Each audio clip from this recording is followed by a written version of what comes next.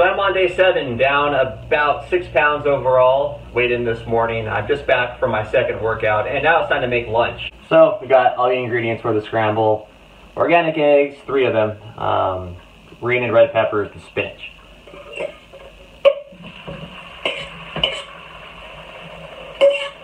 This is the final product here.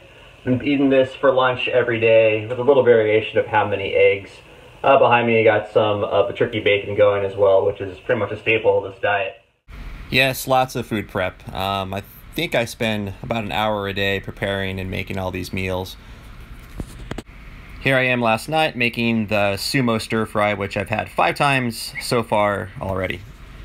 Alright, so the goal this week it wasn't to buy new clothes. I've worn size 32 jeans for, geez, about 10 years now.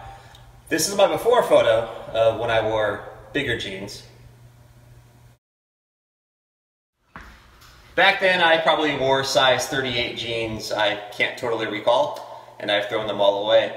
But ever since last decade or so, I've worn size 32, and uh, so I thought, why not go buy a size 31, see how they fit. So I did that today, went to the outlets. Let's go see how it works out. All right, so these are size 31, waist 32, length, not skinny jeans. Uh, sorry or you're welcome, depending on your point of view on that little snug, but they fit all right. Um, can't complain. I my goal isn't to get down to 30 or something. So, uh, but stay tuned in case I drop another size.